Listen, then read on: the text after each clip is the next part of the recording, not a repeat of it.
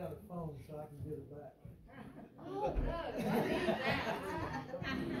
You don't know my code. I can get her back. No, at least she didn't call me Fred Sanford this time, which is what she did the first time. I read a lot, and to save money, I'm such a tightwad. I buy books off of Amazon, and I've probably got two hundred books that have been autographed to other people. So the first time I spoke at her class, she introduced me and had the Fred Sanford music playing when I walked up in front of her class. But uh, we're gonna push through this next section right here, and then we'll take a break. We're doing real good on time. Um, I'm gonna start with a disclaimer. When you go to talking about financials, you can cause a fight as quick as you can talking about tractor, truck brands, or football teams. So I'm not here to replace your CPA at all. I am here to get you to do some critical thinking and maybe think about something on your P and your financials that you've not been thinking about. And what sparked this was get a lot of feedback when we do meetings. People want to understand financials more. The biggest feedback I get is when I go do budgets with people and I look at some of the numbers they put in and they're charging themselves forty dollars to run a combine across their field. That worked in nineteen ninety-two maybe, but it doesn't work now if you want a true cost of operating and equipment in your program there. When we talk about the farm market today, we can look over here on the left. What's your temperature? Some people are real hot, some people are real cold. Definitely the risk level is off the charts right now. When you look at how financials are impacting what's going on, our markets, we got to increase demand. The soybean board, the cotton board, the corn board, they're doing all they can trying to increase demand there. The hope this year for corn demand increase. The last couple of weeks, when all those electric cars, they couldn't get them charged, maybe that's going to give a little more push for ethanol to get a little growth. I think folks are starting to see how those things might not work in every situation, and so maybe that's going to give a boost to ethanol, which would increase some domestic demand for corn and get it out of the ugly number it's in. When you look at inputs, inflation and interest, thank goodness they're trending down because they were leading to the slides over there on the right. A lot of stress causes hypertension, and make sure you focus on the top. When you look at labor, that's just ridiculous and through the roof, and I don't understand it. There was some very good conversation last week at the soybean meeting about how in the world was the government mandating a labor increase and expecting us to be competitive on the global market. Talk to your congressmen, your senators, your lobby groups that, that support the types of crops and livestock you grow and make sure that they are spreading the word. We've got to have some help there. Everybody needs to make a fair wage, but as I told a person one time, you don't need to retire just off of me. When we look at some things in finance, I listen to a bunch of podcasts and read a bunch of blogs, and a couple areas we're just going to glance at today are two that I think are important. How many folks in here store grain? Sell later. Didn't think there'd be many. We've got a luxury here a lot of people don't have. We're surrounded by meals here. We get a very high positive basis most of the time. Biggest thing where storage might would help us is when you got a four hour wait at Cargill or somewhere like that. I'm only picking on them because I used to work for them. Those things kind of limit, especially when weather's starting to factor in. But I'm hearing more people putting some storage in in the operation. But something you want to consider is the cost of storing that grain versus getting your check and paying your operating note off. We're going to look at Joe Farmer here, just a, a picked it out of thin air example has 500 acres of corn, had an average year, it grew 500 acres, made 135 bushels, so he's got a little over 67,000 bushels to store. Soybean crop, he had an average year, he grew 500 acres and made 40 bushels to an acre. He's got 20,000 there. And he's sitting there looking at a five hundred and fifty thousand dollar operating note. Well, sadly, the big number on that, when you look, we're gonna say he got it real late last year and he's paying nine percent on that note. A lot of younger farmers in here, interest has not been on your budgets, really on your P and Ls, last twenty-five years probably. It is real now.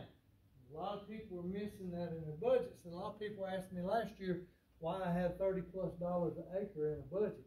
But when you look at an operating note and you see, that's what it ended up being. It's a true number that a lot of folks were missing in their budget. They get to the end of the year and figure out why they didn't make any money. Well, my budget said I was gonna make money, but there's not enough left in the bank at the end of the year. So what this is gonna do is try to true that up to where you take a different look. This gentleman here, or lady, say they had the example, they wanted to hold their grain for three months because, you know, prices are gonna go up, they're gonna go up. So they were very optimistic. So they put this in storage. This is an all-inclusive example. You may store it less, you may have less bushels, the interest rate may be different. This is just for illustration purposes. But say he took that nine percent note that was costing him right at sixteen hundred dollars a month to not pay that money back. Well, what is that money gonna be accounted for? Well, Jimmy helped me work on this. We put that in the bin. You look, that's gonna be almost forty-nine hundred dollars over that three months, just in interest alone. So if we divide that back out, as you'll see in your books there, over the number of bushels, gotta go up seven cent to pay for the interest. Most likely it'll hopefully go up seven cent in that three months. But there's some other numbers that aren't in that you need to factor. You gotta pay for those bins, you gotta pay for the electricity, you gotta pay the labor to run it in the bin, run it back out of the bin, and you gotta pay for the freight. And a lot of farmers argue me on that. No, we'd have had to carry the Cargill anyway. Yes, you're still gonna have to pay that, but you had to carry it back to the house and unload it. So there is a freight trip in there that a lot of people miss. Make sure you account for that when you're looking at how advantageous it is for you to keep your beans or corn in storage. When you look at the bean example, you deal with the same amount of interest there. That comes up to twenty-four cent a bushel. When you look at this example, also you gotta add in the cost of that bin, the cost of the electricity, the cost of the labor, and that extra trip. Maybe you only carried it five miles from the field to home, and you may say, "No, that's not much." Now, That eighteen wheeler was on the road. That was a risk that you had. You could have gotten in a wreck. You paid for that little bit of wear and tear. You paid insurance that day on it. There are true costs associated with doing this. Just make sure you're re- rewarded for whatever those costs are. When we look at the next one, it's a hot button, and I'm glad it came up a while ago. We look at the cost of equipment ownership. And this one, just like the colors of the tractors up there, can get all in the mud if you want it to. But we're gonna look at a fake tractor here and say the purchase price is four hundred thousand dollars on that tractor. And we're gonna say you're somebody that doesn't let tractors get old on your farm, you trade every five years. That might not be real for everybody in the room, but there may be some that it is. For this example, it's gonna be real today. At the end of that five years, we're gonna say your salvage value, whether you're trading in or selling, you get two hundred thousand dollars out of that. Now, here's the one that'll give you sticker shock. Stephen, I'm not picking on you about the price of, of, of tractors going up there. But this same tractor in this example that was used, and this came off of somebody else's site, that four hundred thousand dollar tractor today in five years probably gonna cost somewhere around five hundred and thirty-two thousand dollars. So how do you account for that? Where do those dollars go in your budget? That's what this does. It gives you some formulas here. You can go home and plug your numbers into this and make it work. When you look at that replacement cost minus your purchase price today, that gives you $132,000 there of inflationary costs that you need to account for when you're looking at how much does it cost to run equipment over an acre every year. And you divide that out over this five-year example, that's twenty-six thousand dollars that just appeared on your budget. And you hadn't done anything. That's just keeping up with the pace of inflation of what it's gonna cost to replace that equipment. You buy used equipment, maybe you change these numbers some here, but if you're buying new, that's some real numbers there. When you look at inflation pacing like it's done the last few years. When you look at your depreciation there, and your accountant may factor it different, but if you take that purchase price minus your salvage, you got that two hundred thousand dollars you gotta deal with over the five years of this example. That gives you another forty thousand dollars, so just in this alone, you've not turned the key on the ignition on the tractor, you've come up with sixty-six thousand dollars that you gotta do something with in your finances, in your operation. And that's a lot of money that people overlook a lot of times. They just say, here's what my payments are for the year, and if I got enough in the bank, I'll go buy some more next year and create another payment. But if you really wanna pace this thing out and keep up with it, you figure these numbers, and then you look at what you're doing with that tractor.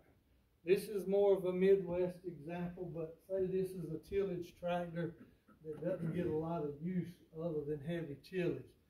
Say this guy's got a two thousand acre farm and he makes four passes a year with his heavy tillage, whatever that may be. He does that for five years, so that ends up about forty thousand acres that that tractor is used over that five-year life.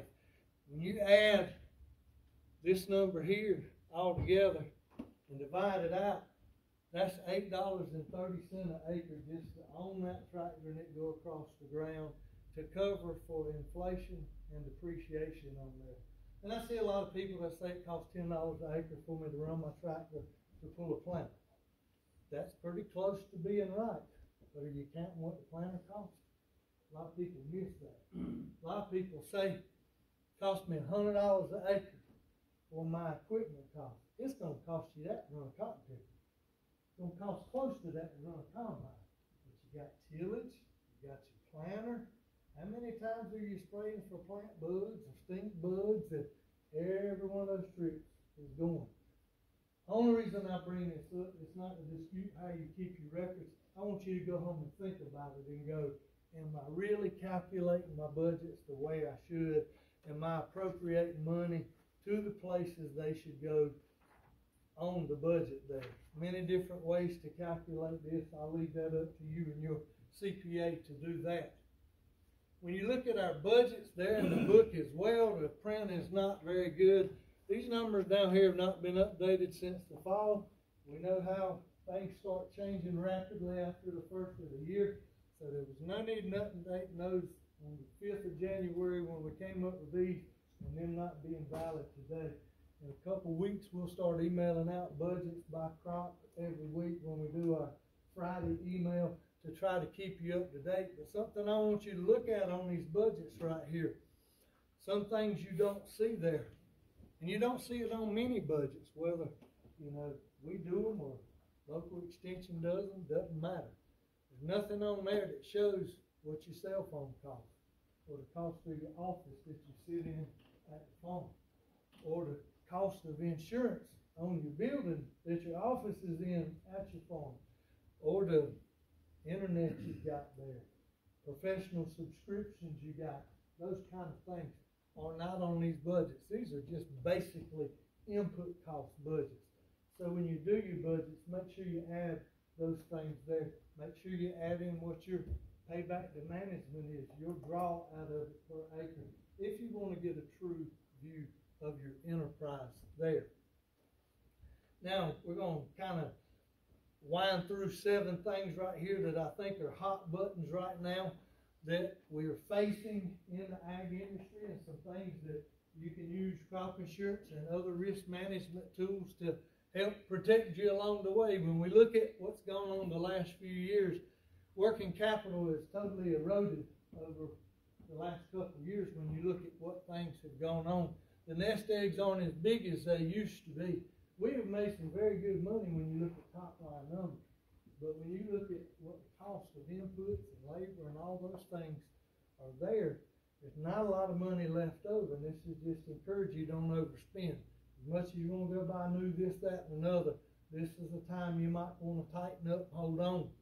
When you look at grain inventory devaluation, last year, I'm talking 23 was the year some people got stung by this in two ways. One, if they had held some of their 22 crop, because like the prior slide said, things are gonna go up. What if they held on to it, they could've sold it at six fifty, and that thing eroded hmm. down when they sold. They didn't do anything and lost the value of that inventory right there. I know quite a few growers last year started out, could have booked corn in the six dollar range, six twenty-five, and said, it's gonna be seven. And sold corn for five dollars. That opportunity cost was missed there. You Gotta have a risk management plan, and that includes booking enough to cover your costs. Keeping a little bit back if you wanna play the markets and wait on it to go to seven dollars. That's different things you have to work out amongst yourself there. We look at overhead expenses, these things have gone through the roof as well.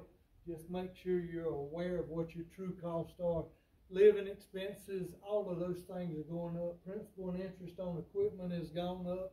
When we look at cash flow, this is one that's really startling here. When you look at how much of your operating money and budgets are tied up due to just interest increase alone. Interest is up on operating notes seventy-one percent over the last few years. It's done that much of a climb. Highest it's been in the last while was around two thousand eight, and it was nowhere near as high as it is now. Crazy example here, but it's real. If you had a million dollar note last year, the interest rate was lower, it cost you thirty grand for that note. You have done absolutely nothing different and gone and borrowed that same money this year. Interest could be sixty thousand dollars. That's really the cost of an employee on your farm. And you've not changed anything the way you did. That is why we gotta get out and get more demand and higher prices for what we do, cause these things are real here. Do a budget stress test, and somebody's like, what in the world is that? Last year would've been a great year to do that. Most of us, when we figure our budgets, we look at B, the most likely case. Hey, I'm gonna sell my corn for five fifty and I'm gonna grow hundred and thirty bushels to the acre. Some of us can dream and do the best case scenario say it's gonna go up to eight dollars. We imagine a new truck and a new tractor and a big long trip somewhere. C's the one I want you to look at. Last year would have been a great year to do that. What if you didn't book and you ended up selling for two dollars less than you potentially have got? Are your finances set to where you can handle a drop like this? Do a stress test. That's when you can take and look at tools like crop insurance guarantees. What is your floor there? What have you got built as a floor? Can you stand this? When you look at that, you wanna do a crop comparison, there's a tool that we've got I can share with you that can kinda compare your enterprise crop over crop, look at what it brings in. This year, I'd encourage you, look at your crop guarantee. Is soybeans gonna bring in more, more profit than maybe corn or cotton? I don't know. Find out what works for you. Look at that. You'll need to consider crop rotation constraints. Maybe it is time to rotate corn. You've been corn on corn for two years and you need to move corn, but it's going to marginal land. Maybe this is a year. Talk with some of your neighbors about trading some land out if there's sweet potatoes or tobacco grown in your area and you work out a contract that'll protect both parties on that and protect your interest. Maybe a new crop like sesame, something you can put into your rotation. It is available to be covered under whole farm now, and there's an APH policy for it as well. So that's a new emerging crop that's getting a little traction, but those are things to consider. That's the enterprise comparison tool there. We, just does corn and beans, but that's something we can put in and do for you and help you kind of decide which one's gonna work best for you. Now, my last point here on number seven here is you gotta know when you made a profit. Everybody like, what do you mean? If there's more money in the bank at the end of the year than there was to start, we would have made a profit. Well, to make good decisions on when to sell, you gotta really know when you've made money and when you haven't made money. Don't be a victim of just taking what you get. Have a plan in place. Know that target number that you need to hit to get your costs paid for. Then, like I said, if you wanna take ten percent and gamble, that's something you can go do. But you gotta know that true production cost, and my point in this is to tell you, you need to update that every month. People worry about budgets before they plant, and then they forget about them and throw it out the window. They don't even think about it. You get to August, and you're looking out there at your crop and going, well, do I go see one of these guys and add a little more to it and invest and try to maximize that crop? Or has it gotten so bad that I need to cut my losses? We're just gonna harvest it and take what we've got. If you don't know what your cost is, and you don't know what you've got locked in for price by that time, you don't know if you need to make a gamble on that or not, or another investment to try to do that. Here's one thing I will say, and all the, the chemical and fertilizer guys in here will, agree with me. You cannot make a crop if you don't put the inputs to it. You can't save yourself in the prosperity of this. You gotta make good decisions and to try to push that crop along and get the most you can. My granddaddy always said, son, it doesn't matter what the market is, if you don't grow a crop, you don't have anything to sell, so it doesn't matter. If cotton's a dollar twenty-five or thirty cents. So just know what those are. Uh, Lewis Howard, I wish he was here, me and him talk about this a lot. Aim for that average selling price, and some people do this by getting in pools. Some of the cotton guys are, are in pool deals and they benefit from a good average price through the year. Some folks are paying outside companies 10, 12 cent a bushel to manage their risk for them on their corn and beans. And they're gonna offer them a price that might not be as high as what Nash or Smithfield could offer a Prestage right now, but they're gonna take a, a good average during the year.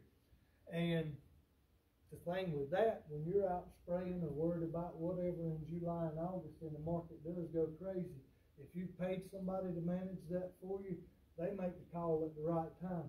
You don't get back from doing whatever in the field and realize, done three days ago, I should have locked some corn in. I missed the opportunity. In a market like this, corn going on a thirty cent run is huge. You might think that isn't a lot when you see us drop too, but if it goes back up thirty, you might not wanna mm-hmm. miss that in a two or three day period. So could be some advantages in that.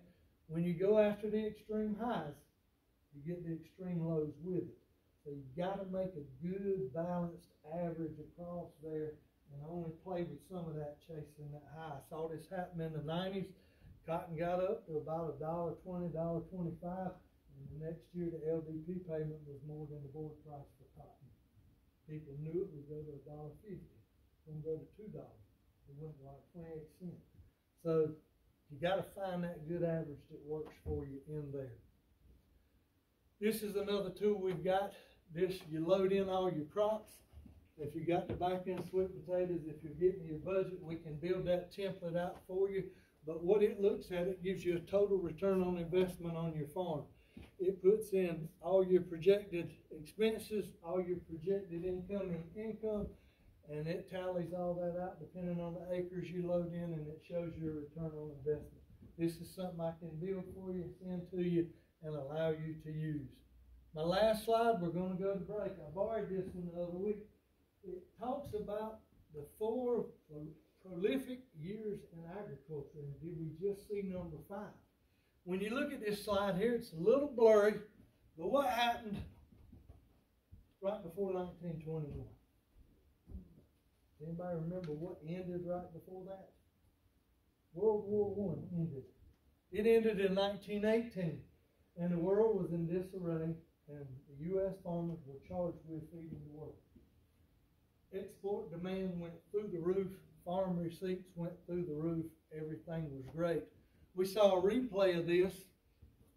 1945, World War II ended, we saw the same thing again. There was a worldwide demand for food. Exports went up, farmers were making money, they were printing they were putting it in jars and burying it in the backyard.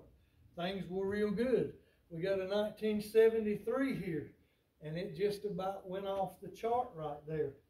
Exports really started to increase. At this time, the Soviet Union started buying from us, and that really increased export demand. 72 had been a terrible year, so domestically there was a lot of need for corn in the U.S. to feed all our livestock there. So that was really up.